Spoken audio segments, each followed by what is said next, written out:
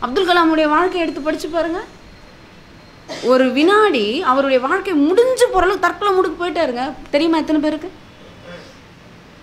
அவருக்கு ஒரு வேலை கிடைக்கல. அவருக்கு பைலட் ஆகணும்னு ஆசை. டோராடூன் போகிறாரு ரொம்ப ஆசை. பல நாள் கனவு அவருக்கு.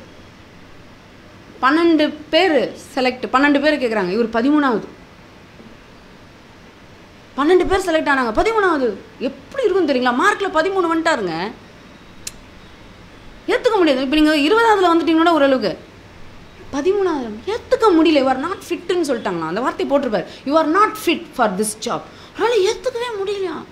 என்ன ஆயிடுச்சு? அவருக்கு இன்ஃபீரியாரிட்டி காம்ப்ளெக்ஸ் அதிகமாகிடுச்சான் அப்துல் கலாம் இன்ஃபீரியாரிட்டி காம்ப்ளெக்ஸ் அதிகமாயிட்டு வீட்டில் அவ்வளோ வறுமையில் நகையெல்லாம் விற்று தான் அவரை படிக்க வச்சாங்க. வாழ்க்கையை படித்து அவங்க அக்காவுடைய நகையெல்லாம் விற்று வாங்கி அவ்வளோ வறுமையில் அவர் படித்து இனி நான் என்ன பண்ண முடியும்?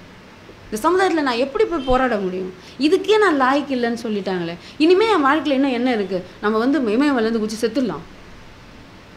அப்படின்னு அந்த உச்சிலேருந்து இப்படி பார்க்குறாராம் போச்சு. லைஃப் முடிஞ்சு போச்சு. எண்டுக்கு வந்துட்டார். இந்த விரக்தியோட உச்சம் பார்த்தீங்களா அதுக்கு வந்துட்டார். முடிஞ்சு போச்சு. அதான் யார் முகத்தில் இப்போ நான் என்ன முழிப்பேன்? எவ்வளோ கனவுகளோட எங்கள் வீட்டில் காத்துட்டு இருக்காங்க பையன் இப்படி வருவான் அப்படி வருவான் காத்துட்ருக்காங்களே. இப்படி வேலை இல்லை நான் என்ன பேச அந்த அந்த நிமிஷம் பாருங்க கலாமுக்கே அப்படி தோணியிருக்கு. அதனால் எல்லாருக்கும் வரும். இந்த மாதிரிலாம் தோணும். அப்படியே இருக்கார் அப்படி டோராடூன்லேருந்து அப்படி இமயமலை உச்சிலேருந்து பார்க்குறாரு சிவானந்த குருக்குள் வந்து ஆசிரமம் தெரியுது. என்னமோ தோணுது அவருக்கு அங்கே போகணும் அப்படின்ட்டு. அந்த ஆசிரமத்துக்குள்ளே நுழையிறாரு அடிவாரத்தில் போயிட்டு சிவானந்தர் அப்படி உட்காந்துட்டு இருக்காராம் ஆசனத்தில். மகனே உள்ளே வா. ஏன் உன் முகம் ஆடி இருக்கு? சொல்கிறாரு அப்போ அவர் கொடுத்த உபதேசம் அக்னி சிறகுகள் இருக்குது அதை எடுத்து படிங்க. நிறைய மாணவர்களும் அதை படித்து தான் அவங்கள தேத்துவேன். இன்று இதை ஆண்டவன் உனக்கு கொடுக்கல அப்படின்னா வேற ஏதோ ஒன்று பெருசு உனக்கு காத்துட்ருக்கான் அவன் அதை தயார் பண்ணி வச்சிருக்கான். உன் வாழ்க்கையை அவன் முடிவு பண்ணிட்டான். உன்னை என்ன வாக்கணும்னு அவன் முடிவு பண்ணிட்டான். அதனால் இன்னைக்கு இதை அவன் கொடுக்கலன்னு சொல்லி அவன்கிட்ட போராடாத. வேற ஏதோ ஒன்று உனக்காக நாளைக்கு காத்துட்ருக்கு அந் இறை மகனே அப்படின்னு நான் அண்டர்லைன் பண்ணி வச்சுருப்பேன். அவ்வளவு அப்படி அண்டர்லைன் பண்ணி வச்சுருப்பேன் கடவுளின் ராஜ்யத்திற்கு உன்னை ஒப்படைத்து விடு. உடம்புலாம் புல்லரிக்குங்க கடவுளின் ராஜ்யத்திற்கு உன்னை ஒப்படைத்து விடு. அவன் உன்னை அரசாட்சி செய்யட்டும். நீ ஏன் உன்னை பற்றி கவலைப்படுற? அவன் ராஜ்யம். இப்போ நீங்கள் நினச்சி பாருங்க அதை எழுதும்போது கலாம் அவர்கள் அந்த அக்னி சிறகுகள் என்கிற அந்த புத்தகம் எழுதும்போது கலாம் அவர்கள் குடியரசுத் தலைவர் இல்லை. அதுக்கு பிறகு தான் அவர் குடியரசுத் தலைவர் ஆனார். இப்போ சொல்லுங்கள் ஒரு சாதாரண பைலட் ஆகலைன்னு வருத்தப்பட்டு விரக்தியினுடைய உச்சத்துக்கு போனவர் தான் முப்படைகளுக்கும் தளபதி.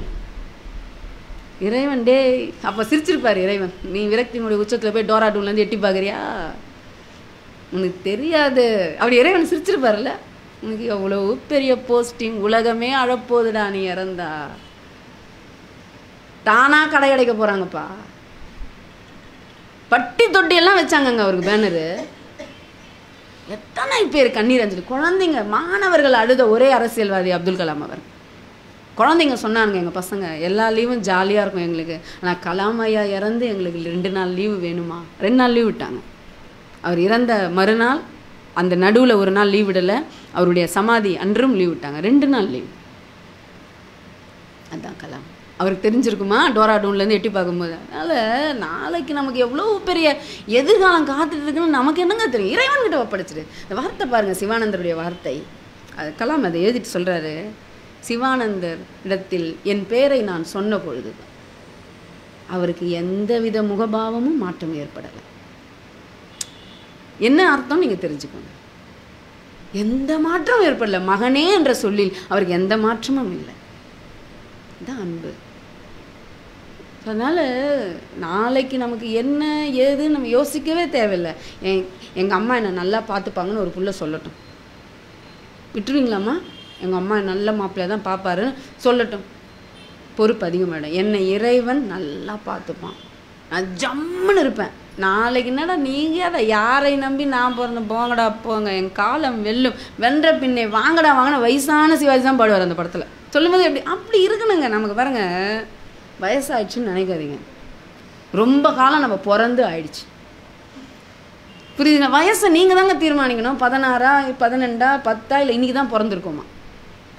யாருங்க நம்ம வயசு நமக்கு மற்றவங்க தீர்மானிக்குது எப்போவுமே நம்ம ஜாலியாக எங்கே இருக்கணும் யாராவது வேணான்றாங்களா? உள்ளுக்குள்ளே எங்காவே இருங்க. ஐயோ நானே வயசாகி போச்சு. எல்லாம் சொல்லவே சொல்லாதீங்க. இன்றைக்கு நல்லா இருக்கிற நீங்கள் நாளைக்கு இதை விட ஜம்முன்னு தான் இருக்க போகிறீங்க சில பேர் வருத்தத்தோடு சொன்னாங்க நாளைக்கு நினச்சி எனக்கு கவலை இருக்கும் ஒன்றுமே கவலை. இறைவன் தாங்க நமக்கு சொந்தம். எத்தனை பிள்ளைங்க பெற்று வச்சுட்டு எத்தனை பிள்ளைங்க கூட இருக்குங்க? எல்லாம் ஃபாரினில் போய் உட்காந்துருக்குங்க பிள்ளை பெற்றா மட்டும் நமக்கு எல்லாம் கூட இருக்கா? இறைவன் மட்டும்தாங்க கூட இருப்பார். நம்மளுடைய நம்பிக்கை தாங்க கூட இருக்கும். என்றுமே நம்பிக்கையோடு இருங்க.